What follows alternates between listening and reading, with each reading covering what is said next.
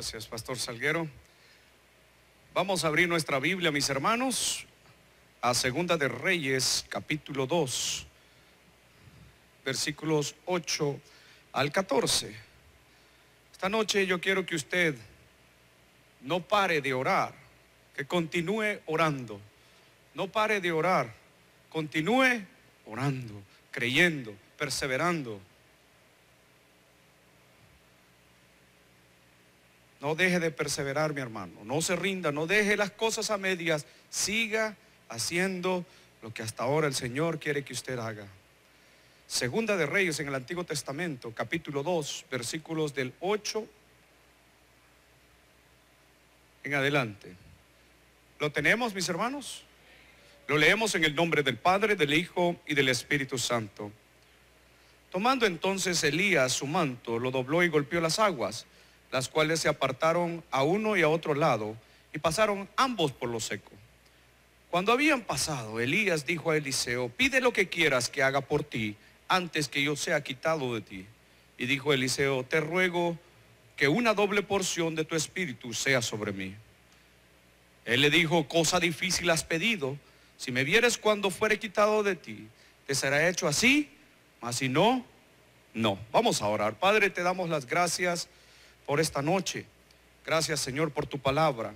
Gracias Señor porque a pesar de el trabajo, los problemas, aquello que nos está asfixiando, aquello que nos está sofocando, aquello que nos pone contra la pared, estamos aquí de pie, Señor, pidiéndote a ti esta noche que nos ayudes una vez más en nuestras necesidades. En el nombre de Jesús. Amén y amén. Puede tomar su asiento, mi hermano. Eliseo estaba siguiendo a Elías y se encuentra con un problema. Encontraron aguas, pero viene, dobla su manto, las golpea y pasan en lo seco. Y le dice, pide lo que quieras que haga por ti. Usted esta noche ha venido a pedirle al que puede, a nuestro Señor. Y le dice, pide lo que quieras que haga por ti. Te ruego que me des una doble porción. Mm, cosa difícil. Ve lo que dice el versículo 11. Y aconteció que ellos, y hablando, he aquí un carro de fuego con caballos de fuego, apartó a los dos y Elías subió al cielo en un torbellino. Viéndolo Eliseo clamaba, Padre mío, Padre mío, carro de Israel y su gente de a caballo. Y más nunca le vio y tomando sus vestidos lo rompió en dos partes. Alzó luego el manto de Elías que se le había caído y, volvió y se paró a la orilla del Jordán, donde ya habían pasado. Y tomando el manto de Elías que se le había caído, golpeó las aguas y dijo, ¿dónde está Jehová, el Dios de Elías? Y así que hubo golpeado del mismo momento las aguas, se apartaron a uno y a otro lado y pasó Eliseo. Lo mismo que había hecho y empieza entonces. Dios le había cumplido a Eliseo su deseo. Pero mis hermanos, cuando alguien está en aflicción, cuando alguien está en problemas, lo más sabio es saber a dónde ir, fíjese. Ir por ayuda a aquel que sabe. Y más adelante, si usted me acompaña, unos capítulos más adelante, unos 11 capítulos más adelante, en Segunda de Reyes, pero ahora en el capítulo 13, en el capítulo 13. Eliseo había vivido, estaba un poco enfermo. Y viene a él un hombre que estaba en necesidad, en desesperación. Segunda de Reyes capítulo 13, versículo 14, lo tenemos. Estaba Eliseo enfermo de la enfermedad de que murió y descendió a él Joás, rey de Israel, y llorando delante de él dijo, Padre mío, Padre mío, carro de Israel y su gente de a caballo. Este rey, que se llama Joás, rey de Israel, tenía problemas. Estaban por rodearlo, por atracarlo sus enemigos. Estaban por atacarlo y dice ahí que estaban, ay, pendiente de que los sirios lo iban a atacar. Los sirios iban contra ellos. Los sirios estaban levantándose en contra de ellos. ¿Qué se ha levantado en contra de ti? ¿Qué te está persiguiendo? que te está abrumando en tu cabeza. Hay algo que se está levantando. Tal vez te han dicho, mira, solo este mes o, quizás hasta fin de mes o de año vamos a llegar porque están haciendo recorte de personal. Van a sacudir el palo, dicen. Eso quiere decir, miren, ¿y qué va a haber? ¿Seré yo? entonces empieza a afligirse usted. ¿Será que va a haber algo? ¿Qué se está levantando? ¿Se ha levantado alguien contra ti en el trabajo? Probablemente algún vecino. Aquí a este rey se le levantaron los sirios en contra de él. Y viene algo que hace, es que viene aquel que sabe, aquel que conoce por ayuda. Y le llega y le dice las mismas frases que él había repetido. Padre mío, Padre mío, carro de Israel y su gente de a caballo cuando fue aquel momento glorioso en que Elías fue tomado por Dios y llevado hacia arriba. Entonces, usted se queda pensando, este hombre viene y repite las mismas palabras, pensando que por decir esas palabras la cosa se iba a arreglar. Y así nos pasa, que nosotros repetimos oraciones pensando que así se va a arreglar nuestro problema. Si yo repito ahí y lo hago 50 veces, así se me va a arreglar el problema. Los problemas no se te van a arreglar por repetir la misma oración que esté en la Biblia, por repetir la misma oración que diga alguien o por algo que haya dicho alguien, sino por la fe en el Hijo de Dios que tiene el poder para cambiar el problema que tú tienes y traes en esta noche. Gloria a Él. Entonces, mm, le repite las mismas. Lo, lo bueno que hizo fue que fue a donde este hombre por ayuda sabía dónde ir, que se sentía perdido, se sentía atrapado, se sentía fracasado ya y no había ido a la batalla. Jesús te va a dar palabras correctas en tu necesidad. Si dice que Él viene y le da instrucciones. Mire lo que dice el versículo 15. Y le dijo Eliseo, toma un arco y unas saetas, unas flechas. Tomó él entonces un arco y unas saetas Luego dijo Eliseo al rey de Israel, a Joás, pon tu mano sobre el arco y puso él su mano sobre el arco. Entonces puso Eliseo sus manos sobre las manos del rey y dijo, abre la ventana que da al oriente.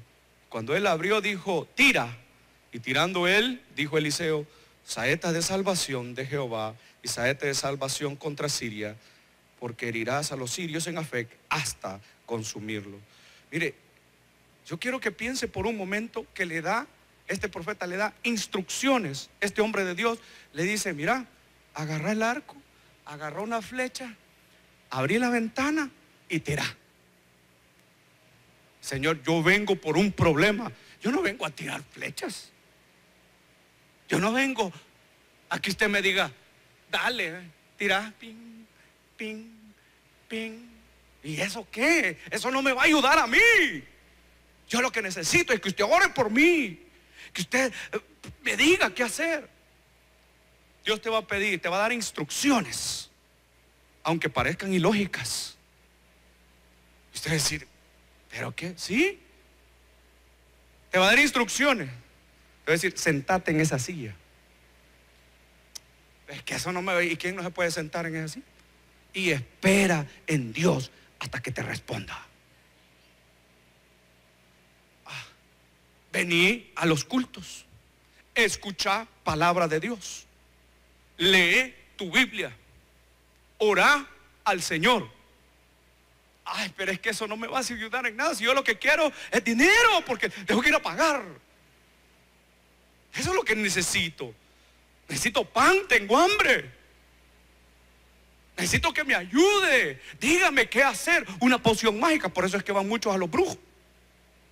Porque ellos le dicen, mire, échele agua, una hojita de orégano, limón y un poquito de sal. Y se lo toma y ya va a ver que le va a quedar todo bien. Y la gente cree eso.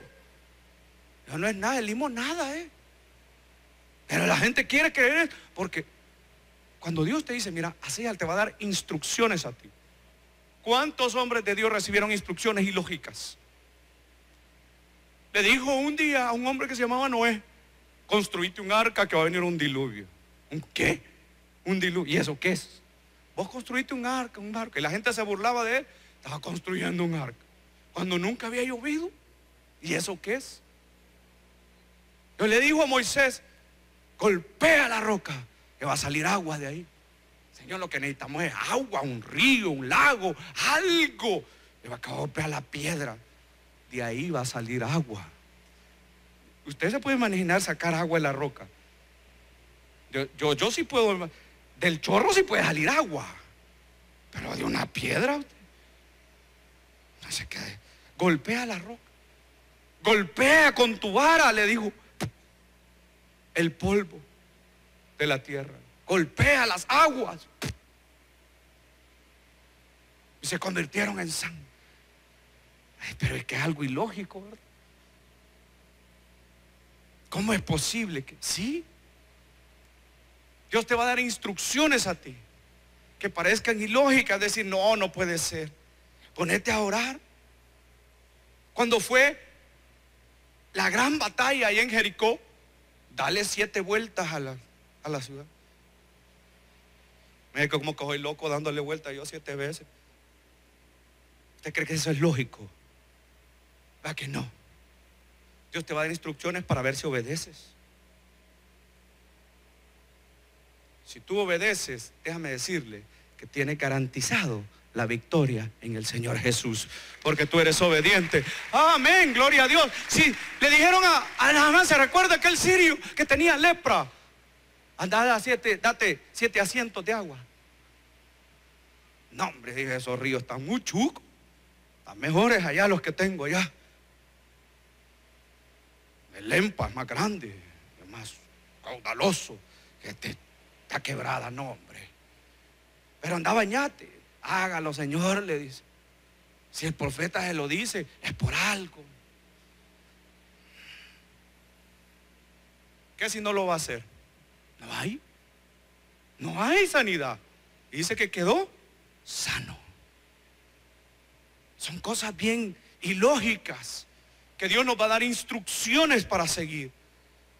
Elías a él al que él, Elías sucede, anda a que te alimente una viuda en Sarepta. Pero la mujer no tenía, pero ni para ella, para comer. Anda. Y cuando estés allá, decirle que te dé comer. Y dice, apenas estaba recogiendo leña para cocer un poquito de harina con aceite, dársela a su hijo y dejarse morir, dice la Biblia. Y usted ve capítulos adelante, en el 6 aparece. Ahí lo lee en su casa. Le digo que como si yo no tengo, que vayas a hacerte, que no va a escasear, porque así dice Jehová de los ejércitos, que no va a escasear en tu casa. Y empezó a sacarla y a hacer, y, no escaseó, Dios proveyó. Pero ¿qué hizo? obediencia. Pero es que ¿cómo es posible? ¿Cómo es posible? Sí, háganlo sentar a todos, dijo Jesús. Denle de comer. ¿Y cómo le vamos a dar? ¿Cuántos pececitos tenían? ¿Ah? Dos y cinco pan. ¿Y, usted cree que con eso alcanza para darle de comer de todos? Eso no alcanza. Pero es que no es lo lógico. Es lo ilógico, porque ahí es donde está tu fe, en lo ilógico, cuando Dios te dice, el hombre no puede, pero yo sí puedo, porque el poder no es del hombre, es mío, es de Dios, dice, y no te va a faltar. Te hace decir, no, eso es ilógico. ¿Y cómo va a creer? No lo piense, hermano, solo créalo.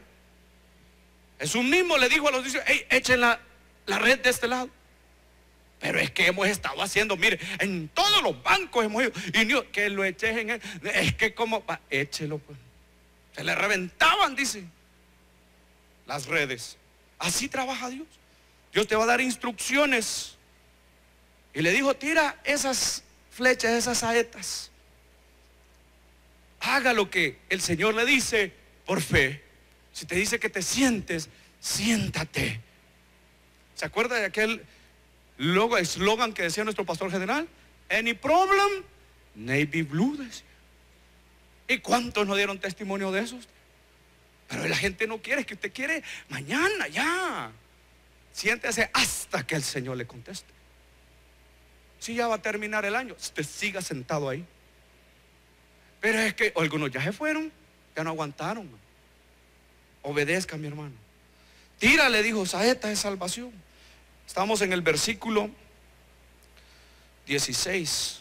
Pon tu mano sobre el arco y le puso y su mano sobre. Entonces puso Elías sus manos sobre las manos del rey y dijo, abre la ventana al oriente. Y cuando él abrió, tiró. ¡pum! ¡pum! Y tirando él saete salvación de Jehová y saete salvación contra Siria, porque herirás a los sirios en Afec hasta consumirlo. Así es como tú vas a vencer tus problemas. Con fe, creyendo y obedeciéndole al Señor lo que te dice. Versículo 18. Y le volvió a decir, toma las saetas, toma la flecha. Y luego que el rey de Israel las hubo tomado, le dijo, golpea la tierra. Y él la golpeó tres veces y se detuvo. Hermano, Dios te va a dar palabras para triunfar a ti. Toma las saetas. Te va a decir, mira, ¿sabes qué? Gol, anda a traerlas. Ya las tiraste, ¿verdad? Imagínese qué cosa, si usted se pone a pensar, yo llego porque me ayude, porque viene el ejército y me va a atacar y me va a destruir.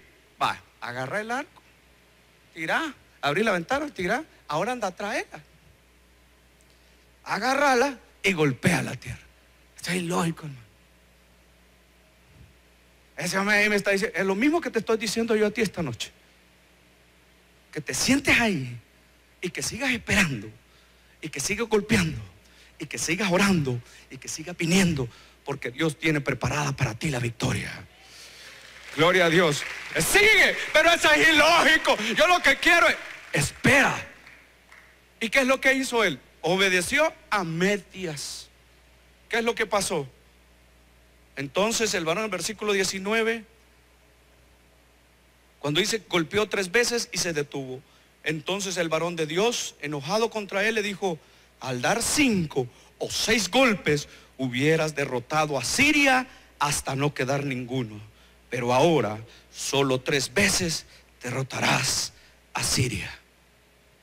Le dijo que golpeara la tierra, que no se detuviera, que siguiera, que siguiera orando, que siguiera orando, leyendo, intercediendo, viniendo, leyendo, creyendo. Y se detuvo, dice. Pum, pum, pum. Y me imagino que él dijo, ¿qué estoy haciendo? Vea que estoy haciendo el ridículo. ¿Verdad que estoy haciendo algo que no tiene lógica? Y se detuvo. Si te hubieras golpeado cinco veces o seis, hubieses vencido a todos los sirios hasta no quedar ninguno. Pero como te detuviste, entonces solo los vencerás tres veces. Empezó a creer, empezó bien y se detuvo. ¿Qué será lo que está frenando con nosotros? Este, empezamos bien, pero estás queriendo tirar la toalla. ¿Se recuerda cuando Jesús iba caminando por el lago? Y se, espantaron porque dieron un fantasma. Yo soy, les dijo, no tengan miedo. Ah, si eres tú, Señor, le dijo Pedro, haz que yo vaya donde ti porque venía caminando sobre el agua. ¿Y quién ha caminado? Yo solo he visto a Chris Angel que camina en el agua.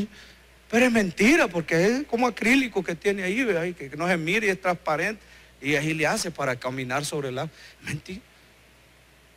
El único que tiene ese poder es nuestro Señor Jesucristo. De ahí ningún hombre, todos son mentirosos. Y bien, si tú eres Señor, haz que yo vaya hacia ti. Vení pues, le Y bajó Pedro así con miedito. Y empezó a caminar. ¡Ey! Dijo. Ahí voy. Pero ¿qué pasó? Quitó su mirada de Jesús y empezó a ver el viento, las olas, la oscuridad, el temor se apoderó de él y se empezó a hundir. Dejó de creer. Pero no está todo perdido, hermano. No se detenga, no deje de creer. ¿Sabe qué? Lo asió, lo agarró, le dijo, hombre de poca fe, ¿por qué dudaste? Y el hombre, me imagino que el rey Joás estaba agarrando las saetas y golpeando. ¿qué estoy haciendo? ¿Qué si se detiene el rey de los Naamán, el general del ejército, y no se da A la quinta, nah, yo para qué me estoy bañando aquí en este lodazal. ¿Para qué me estoy bañando en este río Chuco? Y yo, ¿para qué? Y yo, ¿por qué estoy así? Yo quiero que me dé una pócima, que ore por mí, que esté así. Exacto. Porque si tú obedeces las instrucciones, la palabra que te da nuestro Señor Jesucristo, la bendición y la victoria viene hacia ti. ¿Y qué es lo que pasó? Se detuvo. Y como se detuvo, ¿qué pasó con Pedro? Empezó a hundirse. ¿Por qué? Porque dejó de creer, quitó la mirada de Jesús. Yo te digo esta noche, no quites la mirada de Jesús. Por lo que más quieras, no te rindas. Sigue sentado ahí. Ven a esas y quédate ahí, quédate ahí, porque sabes que Dios tiene preparado tu victoria. Tarde o temprano, nuestro Señor Jesucristo va a contestarte, solo quiere ver hasta dónde tú aguantas. ¿Hasta dónde? Yo voy a seguir. Pero es que ya se va a acabar el 2015, pastor, pero faltan tres meses. Y yo sigo confiando, y yo sigo viniendo, y yo sigo haciendo, y yo no me voy a rendir ante ninguna adversidad. Wow, esa hace la diferencia. ¿Qué es lo que hizo Eliseo después de, se volvió a encontrar con el río, después de que fue tomado Elías, y dijo, si yo veo que él se va, me dijo que sí, si no, no.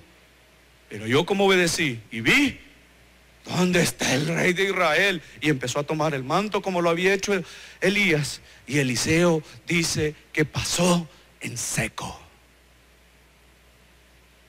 Tú también estás ahí en de ese río y dices, voy a cruzar. Tenés que pasar al otro lado, pero no lo vas a hacer si no tienes la confianza puesta en Cristo Jesús. Pero si tú crees en Él en esta noche, a pesar de tu problema que has traído esta noche aquí, tú vas a golpear, vas a seguir orando, no te vas a detener y vas a pasar tu problema en seco. Aunque las aguas, ven, no te van a ahogar. Aunque estés en el fuego, no te vas a quemar. Porque nuestro Señor está con nosotros y mayor es el que está en nosotros que el que está en el mundo. Dele un buen aplauso a nuestro Señor. El predicador ha terminado su mensaje. Es tiempo de que recibas a Jesús en tu corazón. Ora conmigo de la siguiente manera. Señor Jesús, yo te recibo hoy, como mi único y suficiente Salvador personal. Creo que eres Dios, que moriste en la cruz por mis pecados, y que resucitaste al tercer día. Me arrepiento. Soy pecador. Perdóname Señor. Gracias doy al Padre por enviar al Hijo a morir en mi lugar Gracias Jesús, por salvar mi alma hoy. En Cristo Jesús mi Salvador. Amén. Bienvenido a la familia de Dios. Ahora te invitamos a que te congregues con nosotros.